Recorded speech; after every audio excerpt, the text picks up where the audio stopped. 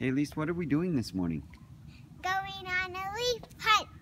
What? Have we found any leaves? Yes. Are we gonna go get some more? Uh-huh. All right. Who did you bring with us? My baby. All right. Should we go off on more adventures? Yeah. All right, let's go.